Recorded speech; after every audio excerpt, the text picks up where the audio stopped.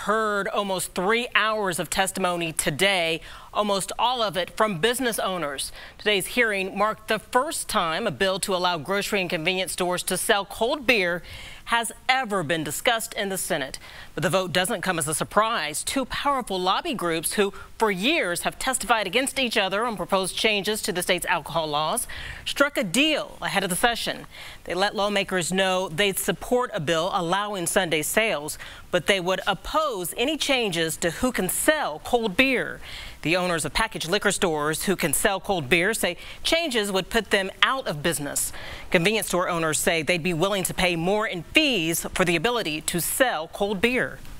I want what my consumers want, and my consumers want cold beer because they're they're using a free ATM in our particular instance. They're getting gasoline. If they're a smoker, they're getting smokes. If they're getting food, they're getting food from us. They want one spot to stop.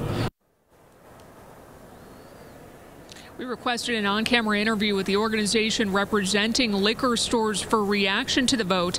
We received a statement reading in part The Indiana Association of Beverage Retailers applauds the Senate Public Policy Committee for rightly rejecting the misguided expansion of the sale of cold beer for carryout. And the vote against the cold beer bill comes as now committees in both the House and Senate have approved the proposal to allow the sale of alcohol on Sundays. That being significant in that it's made it that bar far in both chambers. Both chambers could take a vote in the next couple of weeks. Reporting live tonight, Katie Hines, RTV6.